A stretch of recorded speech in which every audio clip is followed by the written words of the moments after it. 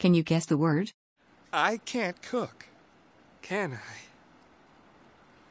But you. you can.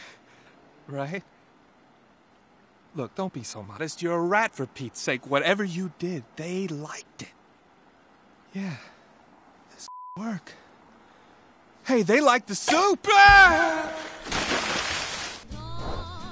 Okay, so Linguini is using this word to talk about a possible imaginary situation in the future.